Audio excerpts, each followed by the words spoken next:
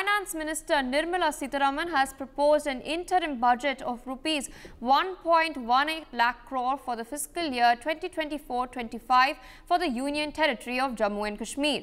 The interim budget envisages a fiscal deficit of rupees 20,760 crore and a 7.5% growth in the gross state domestic product. Additionally, capital expenditure for the fiscal year has been proposed at rupees 38,566 crore, which is 14.64% of the GSDP.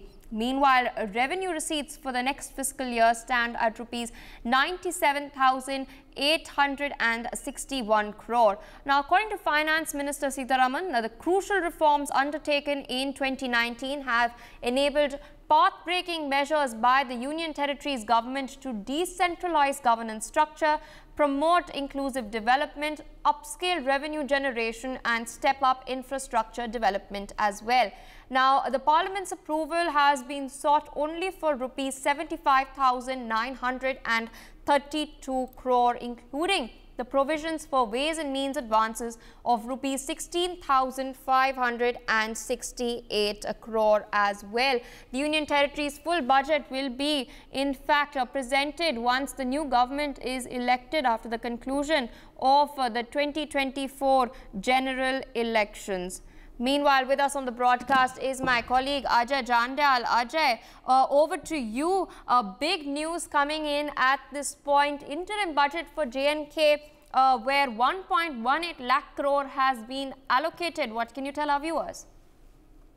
See, uh, in this budget, this shows basically the future plans of the government for the Jammu and Kashmir and that's why, you know, in every sector they have allocated the funds and enough money has been allocated for uh, these, uh, you know, sectors, whether it is a, uh, you know, uh, uh, development, whether it is a, you know, uh, other sectors like developments of roads, constructions, and electricity as well. So the enough budget is being sanctioned, and this is for the first time that this much amount is being, you know, allocated for the Jammu and Kashmir budget. So, and after two, three months, when this final budget, full budget will be, Uh, you know, table there in the parliament, uh, that is going to definitely change the picture of the and Kashmir uh, for this year.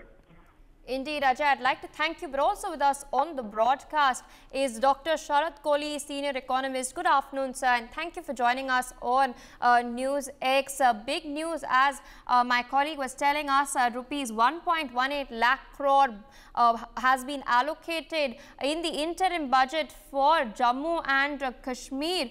Uh, of course, they envisage a 7.5% growth rate in the Union Territories gross domestic product Meanwhile, revenue receipts stand at uh, 97,861 crore rupees. Um, what do you make of this announcement and do you think it will in fact give a push uh, to uh, the Vikas, uh, you know, sort of uh, key development initiatives that are in fact underway in the state and uh, union territory at the moment?